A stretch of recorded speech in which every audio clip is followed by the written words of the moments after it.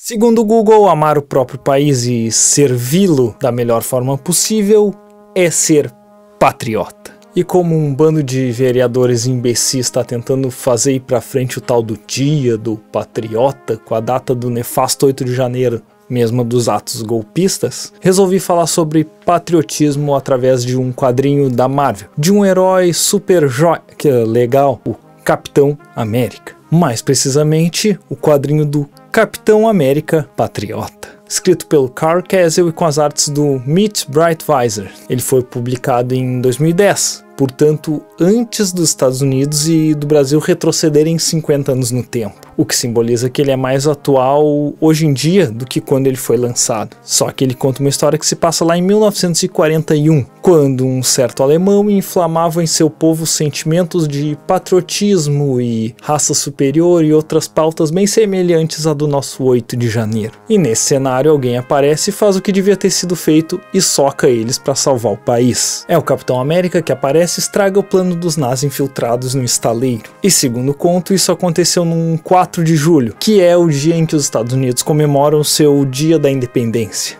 Só que um dos alemães ele tenta fugir e ele é surpreendido por um repórter que estava lá na verdade para cobrir os acontecimentos daquela noite. O jornalista é o Jeff Mace, que não tem nenhum superpoder, mas pelo visto ele é bom de briga, já que ele derruba o inimigo com um soco só. Isso faz com que ele receba um agradecimento do Capitão América e desperta nele aquele sentimento de ter feito algo bom pelo seu país. E aí já fica claro no quadrinho quanto o Steve Rogers ele é um ícone para os americanos. Ele não é apenas um herói, mas sim um símbolo vivo da América, um sentinela da liberdade, que com as suas ações inspira os compatriotas. Acontece que ele está apto a isso, já que ele recebeu um soro que o transformou em super soldado em um experimento. E aí ele soma a isso uma máscara e um escudo indestrutível, e assim nasce um herói. Ao contrário de certos outros capitães por aí que no máximo formam uma milícia e usam gado como massa de manobra. Acontece que quem não curtiu isso de um repórter sair na capa como um ajudante de herói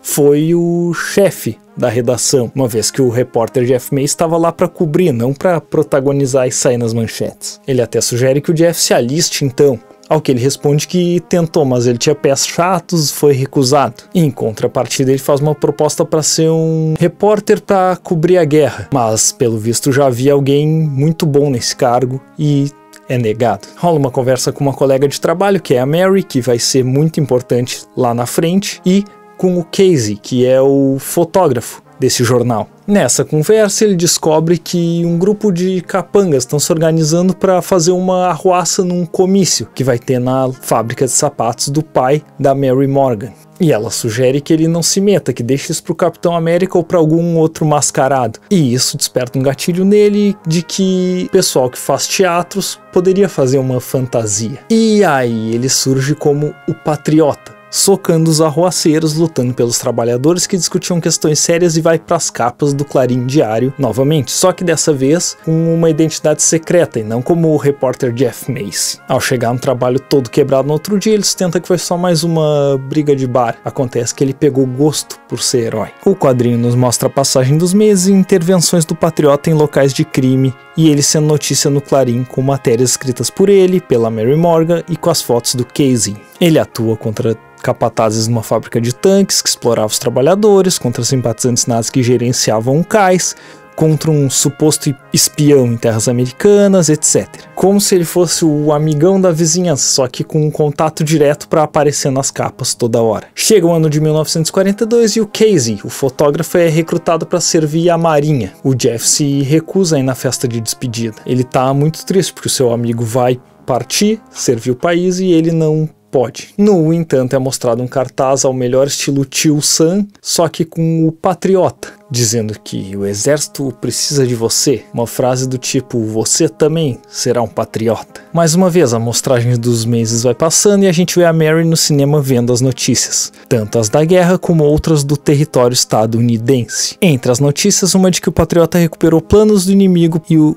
O aviso: cuidado, meninas, seus punhos quebram mandíbulas, mas seus olhos azuis quebram corações. Sim, no tempo da tua as notícias eram transmitidas no cinema. Só que em junho de 42 eles se juntam a um bando de super-heróis e eles se juntam ao eixo como Legião da Liberdade. Só que nesse grupo os outros realmente são superpoderosos. Ele não, mas ele é o líder por ter inspirado os outros a serem patriotas. Enquanto o Capitão América, o Buck e os outros vão para a linha de frente, a Legião da Liberdade atua na retaguarda resolvendo tretas menores. Após um deles receber tiros no lugar do presidente Franklin Roosevelt e dizer que não foi nada demais e ainda exaltar o patriota como um verdadeiro herói, que nem precisa de escudo para defender o país, chega a hora dele falar em uma coletiva de imprensa e aí trava o Nintendo. Ele é um jornalista acostumado a escrever, não a dar entrevistas. Isso do escudo retrata que nos Estados Unidos o patriota já estava chegando à mesma popularidade do Capitão América. Isso porque o Steve Rogers estava lá na guerra.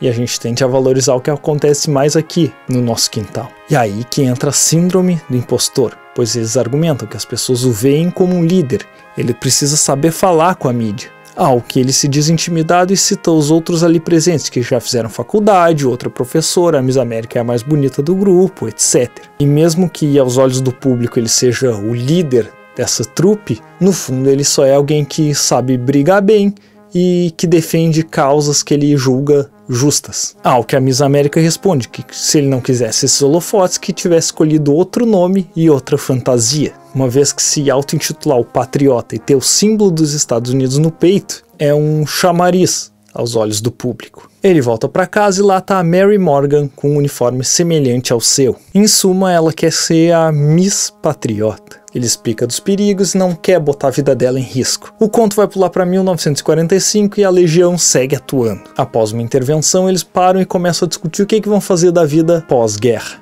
Sim, porque a guerra tá acabando. E aí a Miss América chama ele de canto e propõe que eles formem uma equipe, assim como o Capitão América e o Buck. Uma vez que seria um tanto confuso para o público ver o Capitão América e o Patriota na, no mesmo time. O herói chamado Ciclone, que possui super velocidade, saiu para buscar comida para eles e volta rapidinho, com o rango e uma mensagem do presidente. Ele diz que ele e a Miss América foram convidados a se juntar aos invasores. Já em 1946, depois do fim da guerra, ele está entrando numa espécie de depressão, porque ele está desesperado por continuar contribuindo com o país e se envolvendo em batalhas em prol da justiça. Só que depois da guerra o sentimento é diferente em todo o país. Ele já não faz mais parte de um grupo de heróis e as ameaças que aparecem são coisas pequenas para um super-herói, porque em tese ficou tudo melhor para todo mundo nos Estados Unidos. A esperança de dias melhores voltou, a economia está crescendo, etc. Menos para ele, que agora se sente deslocado porque ele não tem mais um país para salvar. Ele escuta uma notícia sobre o incêndio em um laboratório, que foi onde foi criado o Tocha Humana, e ele vai para lá averiguar. Chegando lá, ele encontra os invasores, uma equipe formada pelo Capitão América, pelo Tocha Humana, o Namor, o Buck e seus antigos parceiros Miss América e Ciclone. Eles são atacados por robôs e nisso ele encontra, perto de uns escombros, o Capitão América abatido. Sim, ele morreu. O homem que o inspirou a lutar, o símbolo americano de patriotismo, não existe mais. O Capitão América morreu. Ele diz que faria qualquer coisa para trazê-lo de volta, e é aí que ele veste a roupa, pega o escudo e se transforma em Capitão América. Ele está contando tudo isso em um interrogatório, pois nem era para ele estar tá naquele lugar e ele é o único que viu o Capitão América morto. E antes de fechar os olhos, o Capitão América relata que seu nome é William Naslund.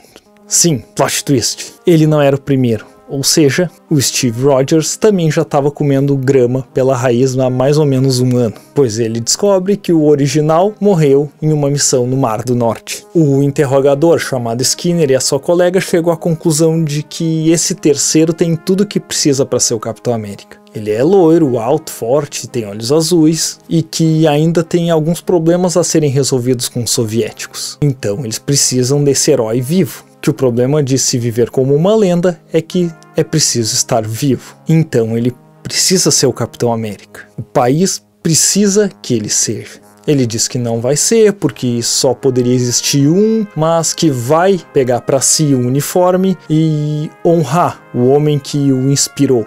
E assim surge um novo Capitão América, o terceiro, mas que poucas pessoas sabem que não é o original. Eu pretendo trazer aqui a continuação desse conto, porque esse é só o primeiro capítulo dele, são quatro volumes. No segundo em diante ele vai ter alguns problemas como achar que não tá dando conta, e não tá mesmo, e críticas dos seus colegas por não ser tão forte quanto o anterior, principalmente do Namor, e para não queimar o filme do Capitão América, eles volta a se vestir como patriota para ir no funeral de um amigo, mas que era considerado um desertor. É interessante que nas próximas edições ele começa a se questionar sobre esse patriotismo e isso começa a mexer muito com a mente dele, pois agora ele tá vendo o sistema de dentro. Então ele sabe da podridão que existe, mesmo assim ele precisa inspirar os outros a serem patriotas. Mas caso esse vídeo ganhe uns likes, eu trago aqui o resto da história. Vou deixar aqui nas sugestões um outro quadrinho da Marvel que fala sobre essa ganância por poder, uma fome, e por isso que o nome dele é Faminto. Obrigado por assistir e até mais.